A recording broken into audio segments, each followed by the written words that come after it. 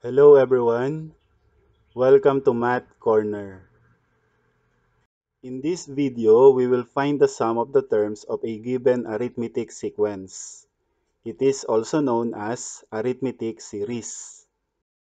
These are the formulas that we can use in finding the sum of the terms of arithmetic sequence.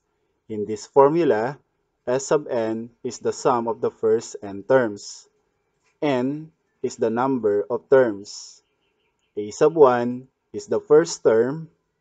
A sub n is the nth term or the last term. D is the common difference.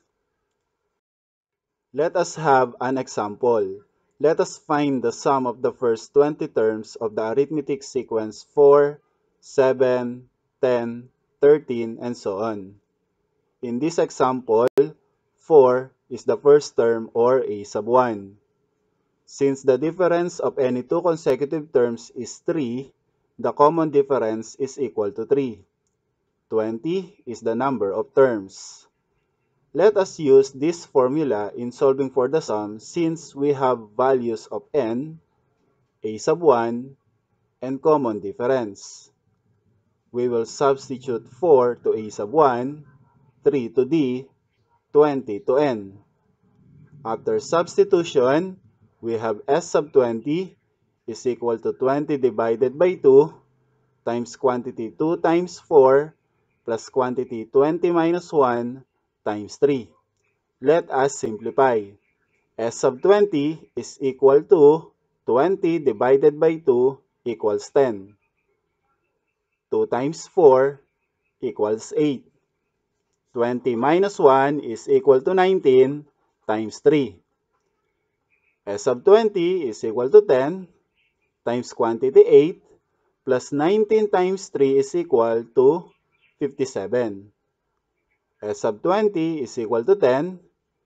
Quantity 8 plus 57 is equal to 65. 10 times 65 is equal to 650 and that is the sum of the first 20 terms of the arithmetic sequence 4, 7, 10, 13, and so on. Example number 2. The first term of the arithmetic sequence is 5 and the 11th term is 35. What is the sum of the first 11 terms? In this example, the first term is equal to 5. 11th term is equal to 35 n is equal to 11. Let us use this formula in solving for the sum since we have values of n, a sub 1, and a sub n. We will substitute 5 to a sub 1, 35 to a sub n, 11 to n. After substitution, we have s sub 11 equals 11 divided by 2 times quantity 5 plus 35. Let us simplify. S sub 11 equals 11 divided by 2 is equal to 5.5. 5 plus 35 is equal to 40. Let us multiply this. The answer is equal to 220. And that is the sum of the first 11 terms. Example number 3. Let us find the sum of multiples of 5 between 19 and 99. The first term is the first multiple of 5 between 19 and 99 and that is equal to 20. The second term is 25. The third term is 30. The highest multiple of 5 between 19 and 99 is equal to 95. We have here an arithmetic sequence 20, 25, 30 up to 95. The first term or a sub 1 is equal to 20. The last term or a sub n is equal to 95. The common difference is equal to 5. n is unknown. Since we need the value of n to solve for the arithmetic series, let us solve for n. We will be using this formula in solving for n. This is the formula in finding the nth term of the arithmetic sequence. We will substitute 20 to a sub 1, 95 to a sub n, 5 to d. After substitution, we have 95 equals 20 plus quantity n minus 1 times 5. Let us simplify to solve for n. 95 equals 20 plus n minus 1 times 5 is equal to 5n minus 5. 95 is equal to 20 and negative 5 is equal to 15.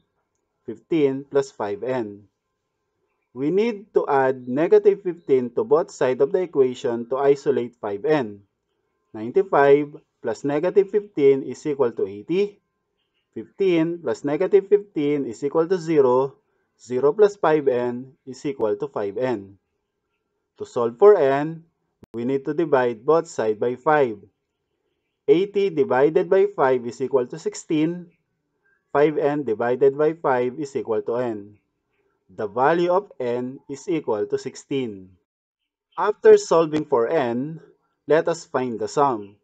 Let us use this formula and let us substitute all the given values.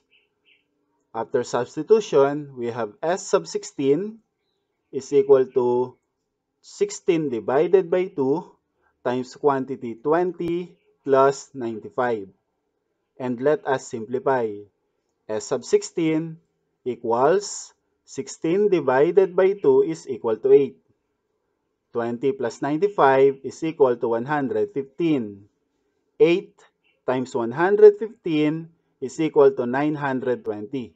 And that is the sum of multiples of 5 between 19 and 99. Example number 4. Let us evaluate summation of 3i minus 1 where i goes from 5 to 16. This is an example of sigma notation or summation notation. This symbol is called sigma.